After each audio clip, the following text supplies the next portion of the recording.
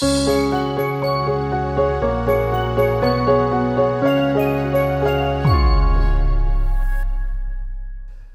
I was recently on a walking tour of the Roman Colosseum and Forum in Italy with a tremendous amount of history. And of course, the Forum has a lot of uh, Roman history and nods towards the Roman gods of ancient times. And our tour guide, it was very interesting. Our tour guide made a point at one point to stop and tell us about something in one of the uh, ancient relics that represented the goddess Nike. And he said at the time, he said, I'm really not telling you this because the goddess Nike was terribly important or because this specific piece of, piece of architecture is tremendously important. I'm telling it to you because I know that you will all remember it because everybody remembers the Nike brand name and the Nike logo. And the tour guide understood the power of branding.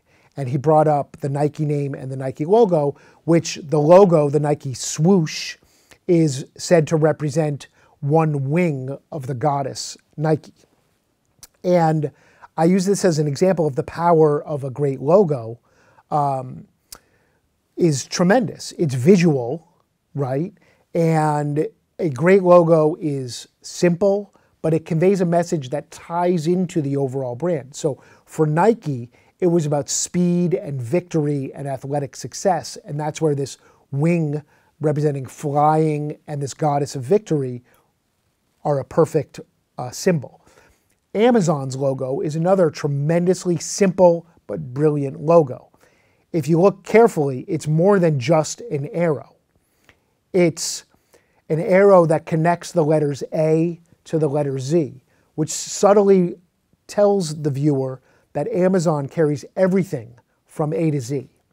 It also looks like a smile when you look at it with the letters Amazon above it and the uh, arrow below it. It could be a mouth smiling. So it's a very simple logo, but it carries a meaning that is relevant to their brand. FedEx is another tremendously simple, strong, creative valuable logo. You would say, you might say, what's creative about it? It's just the letters FedEx. Well, if you look at the last E and the X in the white space, it actually forms an arrow moving forward because FedEx is about moving your products or your packages forward and getting them delivered. So um, take a look at that FedEx logo. Next time you see it, I think you'll, you'll find it quite interesting. Um, Another thing about logos that some people don't realize is they should be registered and protected separately from word marks, separately from brand names, because the logo design by itself, whether it's that Amazon smile or the Nike swoosh, is often used without the words.